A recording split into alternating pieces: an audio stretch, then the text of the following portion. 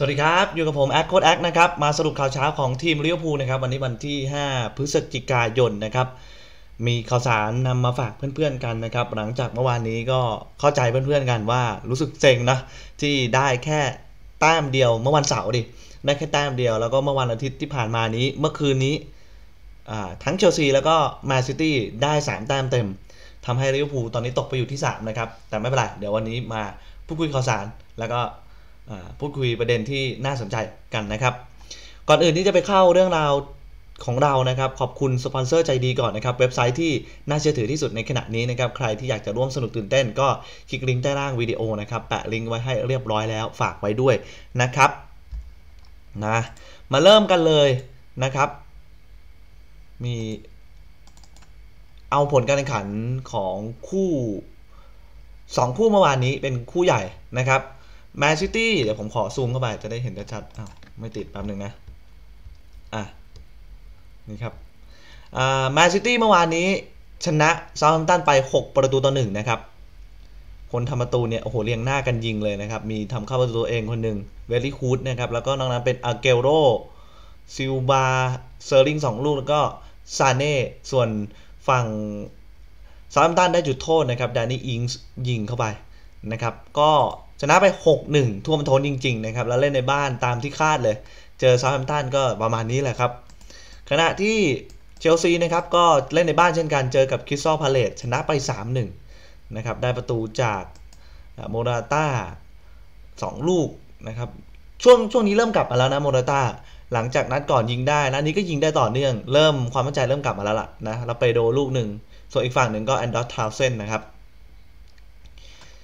าตารางคะแนนออกมาเป็นอย่างนี้ครับสำหรับนะตอนนี้จริง ๆ ยังมีอีกคู่หนึ่งฮัดเดอร์สฟิลด์ทาวน์กับฟูแล่มแต่เป็นการเจอกันของทีมระดับ 19 กับ 20 ก็ไม่มีผลกับข้างบนตาราง เรามาดูข้างบนตารางดีกว่าแมนซิตี้มี 29 แต้มนะครับ แล้วก็เมื่อวานนี้ยิงได้เพิ่มอีก 6-1 ใช่ไหมบวกไปอีก 5 ก็คือตอนนี้ลูกได้เสียเป็น 29 ตามมาที่เชลซีนะครับ 27 แต้มลูกได้เสีย 19 ส่วนลิเวอร์พูล 27 แต้มเท่ากัน แต่ลูกได้เสีย 16 ก็อยู่อันดับที่ 3 สเปอร์สนะครับ ตามหลังลิเวอร์พูลอยู่ 3 แต้ม อาร์เซนอลตามหลังลิเวอร์พูล 4 แต้ม ประมาณนี้นะครับ บอร์นมัธมีอยู่อันดับ 6 เท่ากับแมนยูไนเต็ดนะเท่ากับแมนยูไนเต็ดอันดับ 7 นะครับ มี 20 แต้มเท่ากัน แต่ว่าบอร์นมัธลูกได้เสียดีกว่า ก็เลยยังอันดับดีกว่าแมนยูไนเต็ด ประมาณนี้คร่าวๆนะครับ ก็ยังลุ้นกันไปยาวๆนะครับ อย่าเพิ่งถอดใจ ถอดท้อใจนะครับ มาดูข่าวนี้ และเราก็ผมว่ามันเป็นตัวอย่างที่ดีที่ที่เราควรจะมองโลกในแง่บวกไว้ก่อนนะครับ เพราะว่ามันมีปัจจัยหลายอย่างอะอย่างซารี่เมื่อวานนี้ชนะคริสตัลพาเลซใช่ไหมซารี่ของเชลซีเนี่ยเขาก็บอกว่า หลังจากเขามาทำงานวันแรก เขาคิดว่าแมนซิตี้แล้วก็ลิเวอร์พูลอยู่สเต็ปเหนือกว่าเชลซีแบบเยอะมากด้วยนะครับ นั่นคือสิ่งที่เขาเข้ามาทำงานวันแรกเขาคิดอย่างนั้น แต่ว่าเพราะว่าทำไมเขาถึงคิดอย่างนั้น เพราะว่าปีที่แล้วเชลซีผลงานแย่มาก หลุด top four แล้วดู gap ที่เกิดขึ้นในซีซั่นที่แล้วที่มีแต้มตามหลังแมนซิตี้ถึง 30 แต้มลิเวอร์พูลเองก็ไม่ได้หย่อนอ่าหย่อนไปกว่ากันเลยลิเวอร์พูลก็ตามซิตี้ประมาณ 20 แต้มเลยมั้ง20 21 แต้มแถวๆนี้ผมจำไม่ได้ว่ากี่แต้มแต่แบบดูความห่างแต้มเมื่อซีซั่นที่แล้วนะครับ แล้วมาดูตอนนี้ นะครับเขาค่อนข้างแบบพอใจที่เนี่ยลด gap ลงมาได้ คือลดช่องว่างกับซิตี้ลงมาได้ ตอนนี้เมื่อกี้ลิเวอร์พูลเท่าไหร่นะแป๊บหนึ่งนะ ขี้ลืมนะครับ เมื่อกี้นี้ อ่า เชลซีกับลิเวอร์พูลมี 27 แต้ม ตามแแมนซิตี้อยู่ 2 แต้ม และผมไปดูเว็บไซต์อันนึงมา เขาบอกว่า 11 ถ้าเป็น 11 นัดปีที่แล้วนะครับลิเวอร์พูลตามหลังมนซิตี้อยู่ 8 แต้ม หลังจากผ่าน 11 นัด แต่ซีซั่นนี้ลิเวอร์พูลด้วยเชลซีด้วย ตามแมนซิตี้หลังจากผ่าน 11 นัดแรกแค่ 2 แต้ม ซึ่งมันมีพัฒนาการที่เกิดขึ้น แต่ gap จากเดิม หรือช่องว่างจากฤดูกาลที่แล้วอะมันไม่ได้ว่าจะภายในซีซั่นเดียวแล้วคุณจะแซงซิตี้ที่มันสมบูรณ์แบบอยู่แล้ว แล้วได้อะนะครับ ซิตี้เป็นทีมที่แบบเกิดมาเพื่อจะเป็นแชมป์ลีกเลยเมื่อดูจากวิธีการเล่นอะไรแบบนี้นะครับ แต่ว่าณตรงนี้อย่างที่เห็นแต้มตะกี้มันก็ยังได้ลุ้นกันไปเรื่อยๆ อย่าเพิ่งถอดใจยังมีอีกหลายนัดให้เก็บแต้มในฤดูกาลนี้นะครับเขาก็บอกอะพอใจที่ทีมซาร์รี่นะก็บอกว่า พอใจทีมพัฒนาการ พอใจที่ทีมพัฒนาทั้งเรื่องของแท็กติกไปด้วยกันนะครับ ประมาณนั้น นะก็อย่าเพิ่งยอมแพ้เชลซีเขาก็ยังแบบมองโลกในแง่ดีแล้วเขาก็มองไปแบบเกมต่อเกม แล้วเราเสมออาร์เซนอลก็ไม่ได้น่าเกลียดอะไร เชลซีก่อนหน้านี้เล่นในบ้านกี่นัด เสมอเสมออะไรวะเชลซีมีเสมอแมนยูอะใช่ใช่เชลซีมีเสมอแมนยูในบ้านในในในสแตมฟอร์ดบริดจ์แล้วก็มีเสมออาร์เซนอลเขาก็สถานการณ์ไม่ใช่เสมออาร์เซนอลดิ เสมออะไรวะเสมอลิเวอร์พูลเรานี่แหละเขาก็มีสถานการณ์ที่เสมอทีมใหญ่เหมือนกันนะครับมันไม่ได้เชื่อใช่เรื่องเลวร้ายอะไร เป็นสิ่งที่ดีดีกว่าแพ้เออแล้วตอนนี้ 3 ทีมอันดับแรกเชลซีแมนซิตี้ลิเวอร์พูลก็เป็นทีมที่ยังไม่แพ้ใครเหมือนกันนะครับแล้วเนี่ยขอปิดอันนี้อะมาดูกันที่ข่าวต่อไป เมื่อวานนี้มีอีกเรื่องหนึ่งที่ผมว่า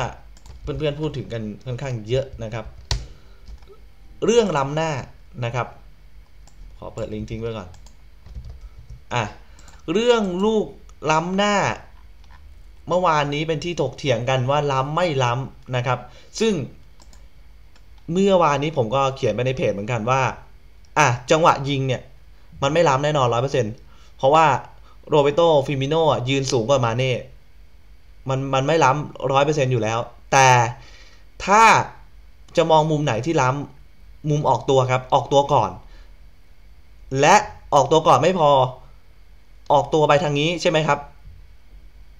มาเน่มีเจตนาที่จะเล่นบอลคำว่าเจตนาที่จะเล่นบอลคือ แค่พยายามวิ่งเข้าหาบอลนั่นคือเจตนาที่เล่นบอลแล้ว แต่ถ้าลูกนี้มาเน่ยืนเฉยไม่สอด นั่นคือไม่ล้ำนะครับ มันมองได้ 2 มุมอย่างนี้ คือไอ้มุมยิงเนี่ยไม่ไม่ล้ำแต่มุมออกตัวล้ำซึ่งบางคนก็บอกให้ดู VAR ถ้าดู VAR กรรมการย้อนมาดูมุมนี้ และเห็นมาเน่วิ่งสอด พยายามไปหาบอลเขาก็สามารถให้เป็นล้ำหน้าได้ ซึ่งเมื่อวานนี้ มันจะมองมุมล้ำก็ได้ มองมุมไม่ล้ำก็ได้นะครับ แต่ถ้าดู VAR อย่างที่ผมบอก ถ้าเขาย้อนไปดูจังหวะแรก กรรมการก็น่าจะให้เป็นล้ำอยู่ดี แต่ทีนี้ซาดิโอมาเน่นะครับ แกออกมาพูดถึงเรื่องนี้เรื่อง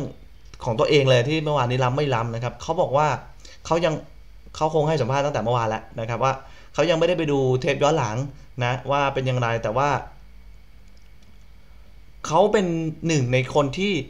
ไม่ชอบไม่สนใจพวกเรื่องเหล่านี้ แบบไม่ชอบที่จะมานั่งพูดว่า เอ้ยผมควรได้ เอ้ยผมมันต้องเป็นมันต้องเป็นของผมสิลูกนั้นอะลูกนั้นผมต้องได้สิเขาไม่ใช่คนที่จะต้องมานั่งอดควรในเรื่องแบบนี้เขาบอกนะ เพราะว่าเขาก็จำได้ว่าตัวเขา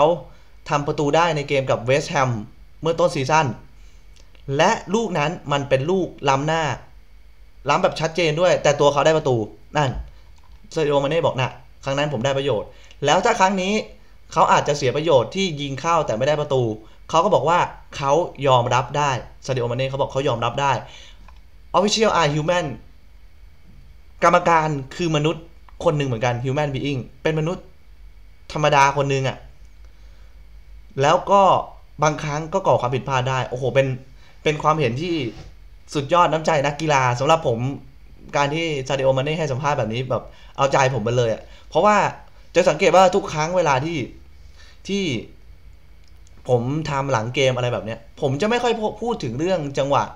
ผิดพลาดของกรรมการหรือจังหวะอะไรแบบเนี้ย เพราะว่าผมรู้ว่ามันมีวันที่ทั้งได้ประโยชน์ และวันที่เสียประโยชน์ เหมือนกับที่ซาดิโอมาเน่พูดมาว่ากรรมการก็คือมนุษย์คนหนึ่งนะครับ แล้วมันจะทำให้ผมจะรู้สึกว่าผมดูบอลสนุกขึ้นเยอะ มีครั้งเดียวที่ผมรู้สึกว่า กรรมการตัดสินได้แย่ที่สุดในสายตาผมแล้วแบบผมหงุดหงิดที่สุดก็คือฤดูกาลที่แล้วเกมที่แอนฟิลด์ที่ลิเวอร์พูลเสมอกับสเปอร์สองสองที่เหมือนกับกรรมการเป่าจุดโทษให้ตั้งสองครั้งแล้วแบบง่าย ๆ แบบนิ่มๆแบบเอออันนั้นอะเห็นเห็นเห็นด้วยว่าเออมันเห็นแล้วหงุดหงิด แต่หลังจากนั้นมันมีผิดพลาดเล็กๆน้อยๆหรือเป่าให้เข้าข้างเราบ้าง ผมไม่ซีเรียสเลยเพราะรู้สึกว่ามันเป็นเรื่องปกติ ยกเว้นนัดที่อย่างที่บอกที่เสมอสเปอร์เมื่อปีที่แล้วที่แอนฟิลด์นะครับ นะนั่นแหละเขาก็บอกว่าประมาณนี้สำหรับเรื่องเรื่องจุดโทษเมื่อวาน ส่วนเรื่องฟอร์มการเล่นก็ตามนั้นนะครับ เดี๋ยวเดี๋ยวฟอร์มมาเล่นมาดูสิ่งที่เจอร์เกนคล็อปป์พูดดีกว่า และอีกเรื่องหนึ่งมาเน่พูดถึงเรื่องสัญญาของตัวเองเมื่อวานนี้นักข่าวก็สัมภาษณ์นะครับว่าสถานการณ์สัญญาของตัวเองเป็นยังไง มาเน่ก็ยืนยันสั้น ๆว่า ตอนนี้เขาขอโฟกัสที่ on the game ก็คือ ขอโฟกัสที่เกมการเล่น ขอโฟกัสที่ให้กับทีมที่อยู่ตรงหน้าก็คือ การเล่นอย่างเดียวตอนเนี้ยเรื่องสัญญาขอให้เป็นเรื่องของเอเจนต์ของเขาจัดการนะครับนักฟุตบอลมีเอเจนต์บางทีเขาจะไม่ค่อยยุ่งเรื่องสัญญาใหม่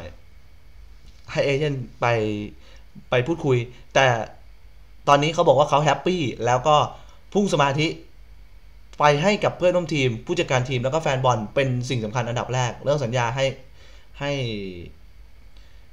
เอเจนต์ไปจัดการ แล้วก็ตอนนี้สัญญาอย่างที่ก็พูดไปหลายครั้งแล้วว่าสัญญายังเหลืออีกยาวนะครับ จนถึงปี 2021 นะครับ อีกเกือบเกือบ 3 ปี ประมาณ 2 ปีครึ่งกว่าๆนะครับ อะ มาดูนี่กันต่อนะครับ มาดูเรื่องราวของเจอร์เกนคล็อปป์ชื่นชมเจมส์มิลเนอร์ แล้วก็พูดถึงเรื่องแท็กติกเมื่อวานนี้ที่ มันมีส่วนที่มันไม่ถูกต้องอะไรยังไง ผมว่าไม่ใช่เมื่อวานดิมันต้องต้องบอกว่าเมื่อวันเสาร์ผมพูดผิดเรื่อยเลยนะครับอะเจนคอปก็ชมมิลเนอร์เนี่ยว่าคือนี่คือ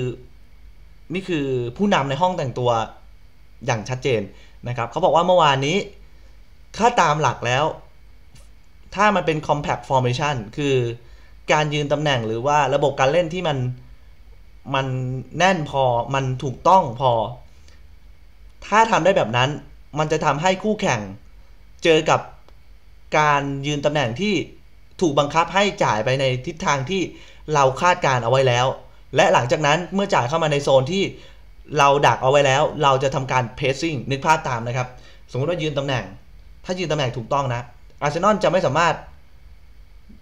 มีอิสระในการผ่านบอลได้ง่ายขนาดนั้น แต่เมื่อวานนี้การยืนตำแหน่งเนี้ย มันมันทำให้อาร์เซนอลสามารถมีตัวเลือกเยอะเกินไปนี่คือสิ่งที่ที่เจนเขาพยายามอธิบายเนี่ยอาร์เซนคือเมื่อวานเนี้ยแทนที่จะทำให้อาร์เซนอลไม่มีพื้นที่จ่ายและจ่ายได้แค่เฉพาะตรงที่เข้ามาในโซนที่เราเพสซิ่งได้สะดวก แต่กลายเป็นว่าเมื่อวานนี้อาร์เซนอลมี 2-3 option 2-3 ตัวเลือกในการผ่านบอลในแต่ละจังหวะทำให้เมื่อวานนี้ pressing ไม่อยู่เลยนะครับก็เลยทำอย่างที่เห็นว่าอาร์เซนอลมีโอกาสครองบอลเยอะมากนะครับ เจนครับอธิบายนะ แล้วมันทำให้เราเล่นได้ไม่สบายเลยเมื่อวานนี้3มิดฟิลด์ของเราเล่นได้ไม่สบาย เพราะว่าเจอกับรูปแบบนี้ ซึ่งเขาบอกว่าปัญหาเมื่อวานนี้เจนคอปวิเคราะห์แล้วก็พูดให้เราฟังนะ คือปีกนะครับเมื่อวานนี้4 3 3ใช่ไหมซาดิโอมาเน่กับโมฮัมเหม็ดซาลาห์ยืนสูงเกินไป คือคือขึ้นไป pressing สูงเกินไป แล้วอาร์เซนอลเขาเอาตัวรอดได้อยู่แล้วไง วิธีการยืนของเขาเขาจะฉีกเซนเตอร์แบ็กออกมาข้างอย่างนี้ แล้วมีมิดฟิลด์มาปักตรงนี้นะครับนึกนึกภาพตามตอนตอนที่เขาเซตบอลด้านบนนะครับ ผู้รักษาประตูอะเซนเตอร์ฉีกออกด้านข้างแบบริมสุดเลย และมิดฟิลด์ตัวรับมายืนปักตรงกลางตรงนี้เขามีออปชันในการจ่ายบอลสาประมาณ 3 อันยังต่ำมเหมาะมีมีมีมีมิดฟิลด์มีฟูลแบ็กอ่ามีมิดฟิลด์มา 2 คนด้วยซ้ำคือเขามีวิธีการเอาตัวรอดจากโซนเพสซิ่งที่ 3 คนที่เราลอยสูงได้ ซึ่งเมื่อเขาผ่านตรงสามโซน3คนลอยสูงมาได้มิดฟิลด์เราไม่มีใครปกป้องแล้วฟูลแบ็กเราไม่มีใครปกป้องแล้ว คือเจนคอปน่าจะอธิบายประมาณนี้นะครับนะโดยรวมๆแต่สิ่งเหล่านี้เขาชมมิลเนอร์ยังไงเขาชมมิลเนอร์ตรงที่เขาบอกว่ามิลเนอร์เห็นสิ่งนี้ตั้งแต่แบบในเกมเห็นตั้งแต่ในเกมแล้วแบบพอพอมาสู่พักครึ่งเนี่ย คือเจนคอปเขาก็เห็น แล้วก็มีการปรับเปลี่ยนอย่างที่บอกปรับไปได้ 4 4 1 1 อย่างที่บอกไปนะครับอย่างเมื่อวานนี้เอ้ยเมื่อเมื่อเมื่อวานนี้ใช่นะครับ ก็ เขาก็บอกว่าสิ่งที่เขาชื่นชมมิลเนอร์คือมิลเนอร์เป็นหนึ่งในคนที่มาพูด พูดในสิ่งที่เขาคิดเลยว่าเจนคอปตอนพักครึ่งนะตอนในห้องแต่งตัว เนี่ยผมเห็นอย่างนี้เมื่อวานมันผิดพลาดอย่างนี้อย่างนี้ การยืนตำแหน่งอย่างนี้อย่างนี้ ซึ่งมันก็ทำให้มีการเปลี่ยนแปลงในครึ่งหลังแล้วมิลเนอร์เป็นคนที่ทำประตูได้ด้วย พอเปลี่ยนมีการเปลี่ยนแปลงมันก็เจนคอปก็ชื่นชมว่านี่คือ ผู้นำเนี่ยเขาชมว่าเป็นผู้นำอย่างแท้จริงเป็น leader ของจริงเลยแล้วนะครับ แล้วเมื่อวานนี้ปัญหาไม่ใช่กองกลางอย่างที่เขาบอกปัญหามันอยู่ที่นู่นแหละนะครับ ตรงปีกแล้วส่วนหนึ่งถามว่าทำไมเมื่อวานนี้ไม่เปลี่ยนกองกลางออกทำไมยังใช้ไวจ์นัลดุมใช้ฟาบินโยใช้มิลเนอร์แบบเซตเดิม ก็เพราะว่าเราไม่มีตัวเลือกที่จะใช้เป็น defensive midfield อีกแล้วนะครับเมื่อวานนี้ต้องใช้ฟาบินโยเพราะว่าไม่มีเฮนเดอร์สันเนี่ยข้ออธิบายเลยจะเจนคอปนะครับไม่มีเฮนโด แล้วก็อีกคนหนึ่งเกอิต้าก็ไม่อยู่เจ็บ ทั้งคู่เจ็บไง น่าจะกลับมาซ้อมในสัปดาห์นี้ ทีนี้แหละเราก็เห็นแล้วว่าเวลาแบบ อย่าให้ใครเจ็บดีกว่าแล้วนะครับ อย่าให้ใครเจ็บทั้งเฮนโดหรือว่า หรือว่าเกอิต้าก็ตามเราอย่าไปแช่งให้นักเตะเราเจ็บนะครับ ผมเคยเห็นคอมเมนต์ที่บอกว่าดีใจมากๆเฮนโดเจ็บ ผมว่ามันเป็นคอมเมนต์ที่มันมันแสดงถึงสภาพจิตใจที่มันแย่มากเลยผมบอก ผมบอกไม่ถูกว่ามันมันไม่ใช่เรื่องดีที่คุณมาแช่งให้นักเตะตัวเองบาดเจ็บไม่ว่าคุณจะชอบคนนั้นหรือไม่ชอบคนนั้นนะครับ อันต่อไปมากันที่เรื่องราวของเซอร์ดานชากิรี่อย่างที่ขึ้นไว้บนหัวข่าวนะครับว่า เกมกับเรดสตาร์เบลเกรดในวันอังคารนี้ ในคืนวันอังคารนี้ จะไม่มีชื่อของเซอร์ดานชากิรี่อันนี้เป็นข่าววงในแล้วก็คริสบาสคอมบ์นะครับ คนนี้เป็นเคยพูดไว้หลายทีแล้วว่าเป็นนักข่าวที่น่าเชื่อถือ มากๆนะครับผมยกให้อยู่ใน rate เดียวกับเจมส์เพียร์ซเลย แต่คนนี้อยู่กับเทเลกราฟนะครับเขาบอกว่าเจคเกนคอปตัดสินใจที่จะไม่เอาเซอร์ดานชากิรี่เดินทางไปที่กรุงเบลเกรดในประเทศเซอร์เบีย เพราะว่าตัดปัญหา เป็นเรื่องของเราเป็นเรื่องราวของการตัดปัญหาไม่ได้มีปัญหาอะไรกันเองนะแต่เป็นเรื่องราวของการตัดปัญหาการเมือง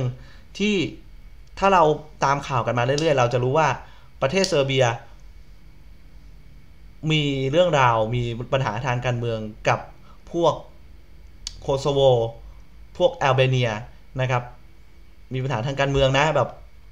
หนักขั้นหนักเลย แล้วในบอลโลกชากิรี่เคยไปทำท่านี้